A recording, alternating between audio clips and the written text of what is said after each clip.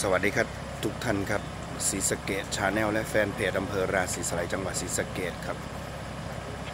ที่เกาะกลางน้ำในวันนี้นะครับมีการพบศพภายในรถยนต์นะครับ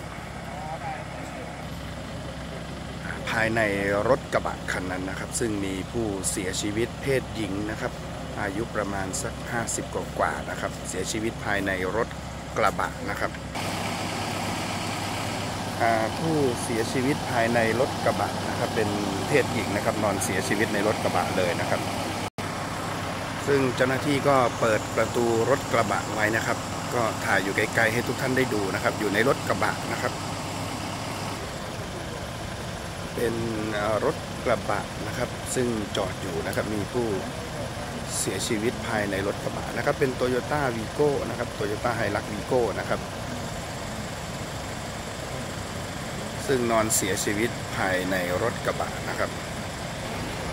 เสียชีวิตอยู่ภายในรถกระบะ Hilux โตโยต้าโตโยต้า Hilux วีโก้คันนั้นนะครับ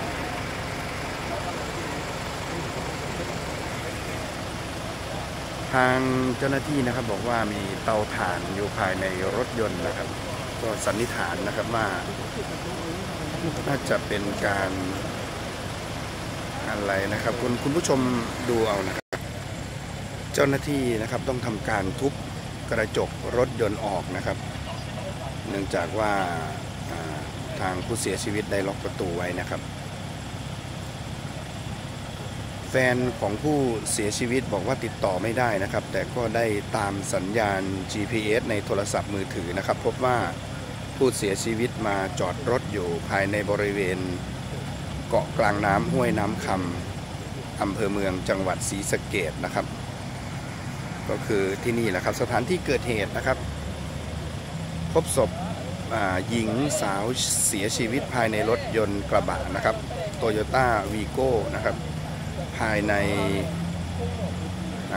เกาะกลางน้ำห้วยน้ำคำอำเภอเมืองจังหวัดศรีสะเกดนะครับ ซึ่งทางเจ้าหน้าที่ก็กำลังเก็บวัตถุต่างๆอยู่นะครับ หลักฐานต่างๆนะครับ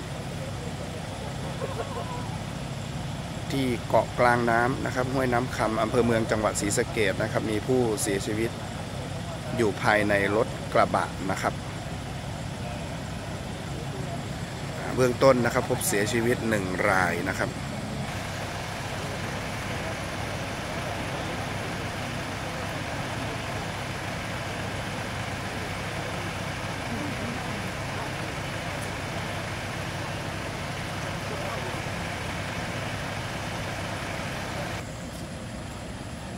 เหตุนะครับผู้เสียชีวิตเป็นหญิงหนึ่งรายนะครับ ภายในรถกระบะโตโยต้าวีโก้นะครับ จอดอยู่ภายในเกาะกลางน้ำห้วยน้ำคำอำเภอเมืองจังหวัดศรีสะเกดนะครับ เบื้องต้นเจ้าหน้าที่พบเตานะครับ พบเตาที่เป็นเตาใส่ถ่านนะครับ เหมือนกับเป็นการรมควันตัวเองนะครับ อยู่ภายในรถกระบะนะครับคันนี้นะครับ เจ้าหน้าที่ทุบกระจกเข้าไปแล้วก็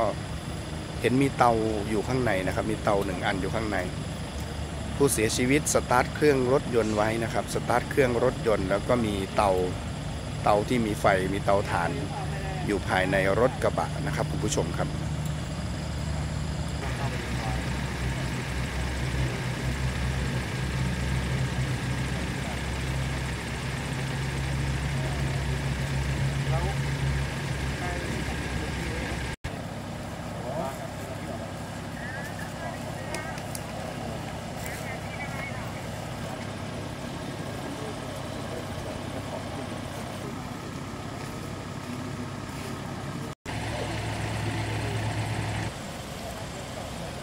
เหตุผู้เสียชีวิตหญิงหนึ่งรายภายในรถกระบะนะครับรถกระบะโตโยต้าบริเวณที่เกิดเหตุ